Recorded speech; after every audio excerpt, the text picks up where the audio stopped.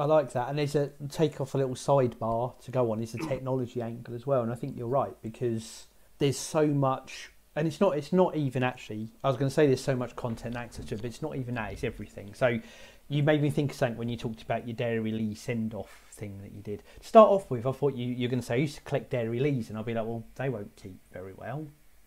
well, you've got a big mouldy pile of squidgy cheese in your room or something. No, yeah, yeah, yeah.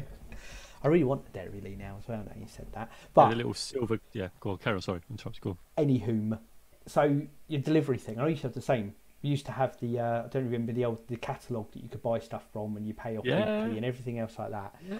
And I remember the same when I was quite young, ordered a game, and the delivery was 28 days, and every day has it come yet? Has it? And it's like this is forever. But it was also perfectly accepted that if you order something, you're not getting it for a month. Now, if I order something and it's not with me in 48 hours, what the hell has gone wrong with the world? You know, if something happened and you need to know what happened, you'd pick up the newspaper the next day. The evening news maybe, but chances are that's the day before news anyway.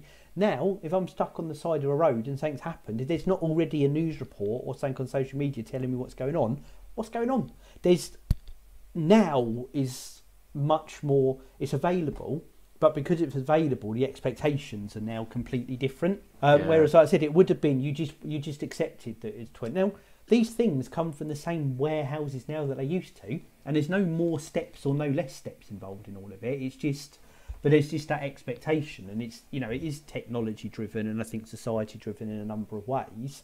And then the same you know i when we worked in uh, i've noticed you know is my little crutch i like to lie on when i'm skipping subjects i kind of run myself and everyone's got them but you know is one of my favourites if i'm just talking through Oh, I'll try and work on that you know You know, See, see how I did it. In our social group, one of the things we like to do when we were at home in the evenings, individually, we didn't all live in one big house together. We'd watch The Simpsons and we'd talk about what we saw in that episode and we quote it to each other.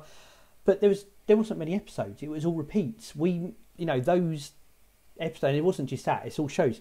Shows that I liked, I would have seen the episodes 10, 20, 30, 40, 50 times because there was only a few of them and they went round. In, and it- that's how you, you passed the time and it was quite leisurely. You knew what was coming and you just accepted Mm. that.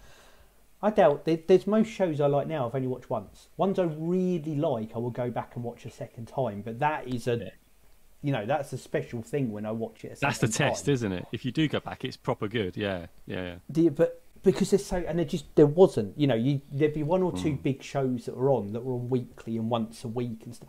But now there's you're overblown, which again, like you said, your time is occupied. It's occupied with new. Your concentration level is different when it's new than when it's a repeat. So maybe there is a bit of that computer game syndrome where because you're so occupied, it just rattle past and rattle past and rattles past.